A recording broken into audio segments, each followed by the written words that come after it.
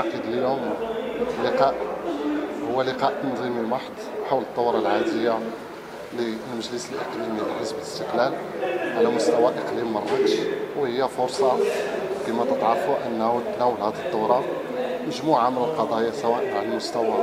الوطني وعلى المستوى المحلي اللي فعلا جاءت ما بين الدورتين واللي غادي نحاولوا نطرقوا فيها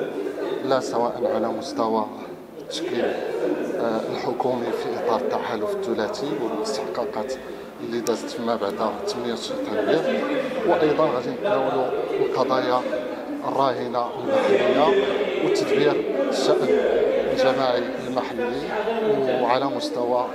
آه، المكتسبات اللي تحققت إلى حدود الان وهذا كله غادي يكون في إطار السياق العام الوطني باستحضار تداعيات فعلا اللي خلفتها سواء جائحة كورونا أو